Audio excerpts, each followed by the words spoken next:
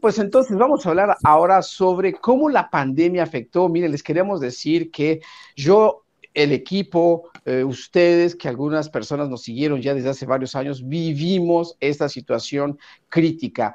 Ayer exactamente a nivel mundial, la Organización Mundial de la Salud declaró hace dos años que había una pandemia mundial.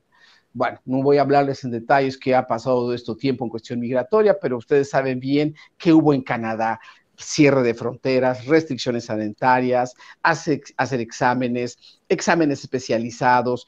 Todo lo que Canadá hizo fue para ayudar a los canadienses. Eh, una vacunación eh, eh, masiva de los canadienses. Es más, hoy hasta apenas comienzan a abrirse algunos restaurantes a su capacidad máxima, cosa que en muchos países en América Latina ya lo hacen desde hace mucho tiempo. Bueno, esto hace que Canadá tiene un gran em, eh, apoyo a la población y la población, pues es la cuestión de la educación lo que hace que se respeten las condiciones. En este caso, ha sido pionero en la vacunación. Ah, es el país donde ha tenido las más altas tasas de vacunación en el mundo y lo sigue haciendo. Es más, ha donado muchas vacunaciones a nivel mundial y está desarrollando vacunas ya para el futuro propias canadienses para que se regalen a nivel mundial.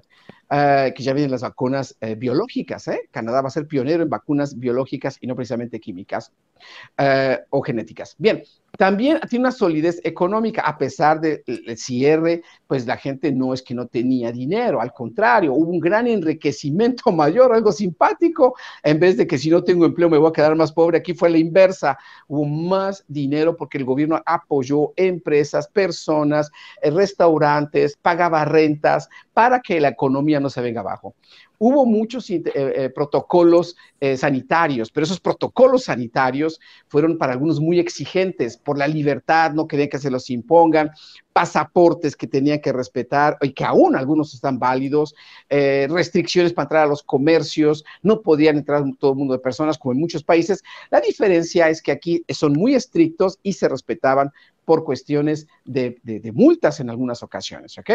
Eh, yo me recuerdo muy bien que un día entró una, una persona a un McDonald's y el McDonald's de repente, pues yo estaba comprando el McDonald's, claro, con mi máscara y todo, y de repente veo que entra la policía, ¡pum! ponen un señor por abajo, le ponen las esposas, lo amarran y todo.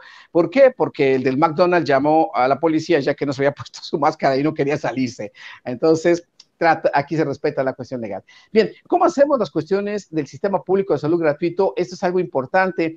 Como en Canadá no existe medicina privada de primera línea, pues entonces muchos de los servicios fueron gratuitos o se apoyó bastante a toda la población. No hubo personas que estuvieran sin atención médica, sin atención especializada y esto hace que pues eh, este sistema canadiense cada vez es más robusto y además apoya mucho a la población y no necesita estar pagando. Aquí nadie pagó por pruebas, por medicinas, por vacunas, nada, todo es totalmente gratuito.